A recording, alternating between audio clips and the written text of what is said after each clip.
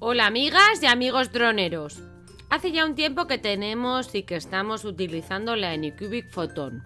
Como cuando la adquirimos hemos estado liados en el canal con varias impresoras de FDM, no hemos podido realizar el habitual unboxing y los primeros pasos con ella.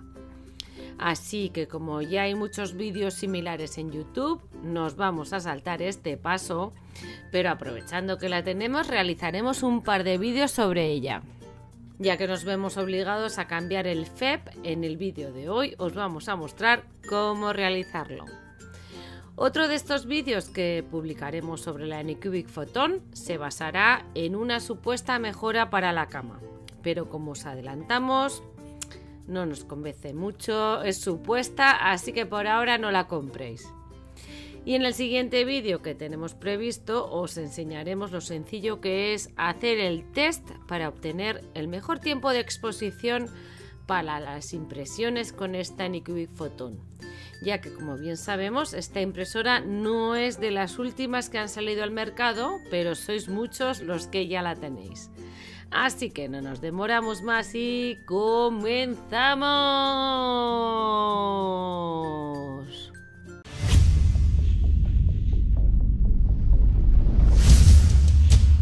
Debido a un pequeño accidente en el que golpeamos el FEP y lo perforamos, evidentemente nos toca cambiarlo, así que lo haremos siguiendo las instrucciones de Anycubic.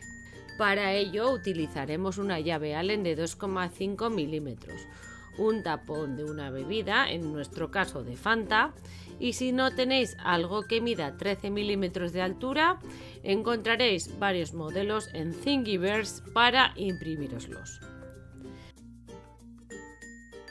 Una vez puesto el nuevo FEP, utilizaremos un cúter para cortar el plástico sobrante.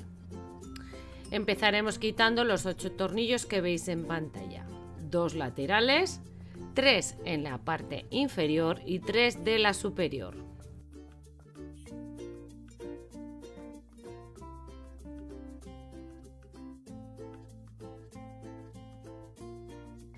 Retirados estos 8 tornillos podremos separar la parte metálica azul de la que sujeta el FEP.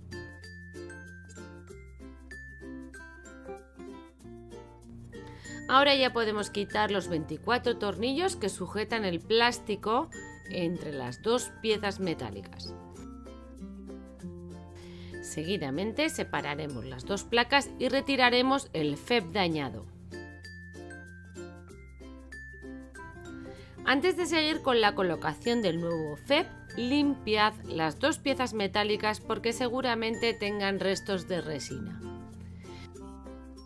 Cuando ya estén limpias, sacaremos el FEP que vamos a colocar y le retiraremos los plásticos protectores que trae.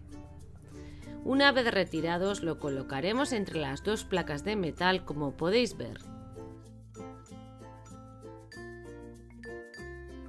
Pero antes de empezar a atornillarlo pondremos el tapón o la pieza de 13 milímetros tal y como os mostramos en pantalla. Esto es necesario ya que cuando lo tengamos que atornillar a la pieza azul, esta pieza será la que tense el propio plástico.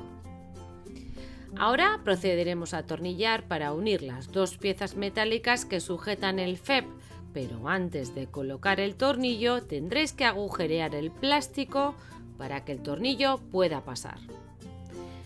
El primer tornillo lo pondremos en una esquina el segundo en la esquina contraria en diagonal. Así hasta colocar los cuatro primeros tornillos en las cuatro esquinas. Una vez atornillados, proseguiremos con el resto. Nosotros pondremos los tres de la parte superior derecha y después los tres de la parte inferior izquierda. Seguiremos con los tres de la parte superior izquierda y después con los tres de la parte inferior derecha. Terminaremos atornillando los cuatro de cada lateral, dejando libres los orificios que os marcamos en pantalla que se reservan para atornillar las dos piezas y el FEP a la pieza metálica azul. Colocaremos las piezas, como veis en pantalla, con los tornillos que acabamos de poner hacia adentro. Y empezaremos a atornillar por una de las esquinas. En diagonal, al igual que la vez anterior. Y después los dos tornillos centrales para terminar con los dos laterales. No apretéis mucho estos últimos 8 tornillos ya que son los que tensan el FEP y si os pasáis de rosca, nunca mejor dicho, lo podéis dañar. Una vez apretado todo, el FEP tiene que estar tenso y sonar como un pequeño tambor. Comprobado esto, ya podemos cortar con un cúter el plástico sobrante del FEP. Y con esto ya tenemos preparada la cubeta para poder volver a imprimir con nuestra Anycubic Photon. Próximamente os presentaremos los dos vídeos que tenemos pendientes sobre esta Anycubic Photon. Así que para que recibáis los avisos de publicación, os animamos a que os suscribáis a nuestro canal si es que aún no lo habéis hecho. Recordad darle al me gusta que tanto nos ayuda y nos despedimos hasta el próximo vídeo. Un saludo, amigas y amigos droneros.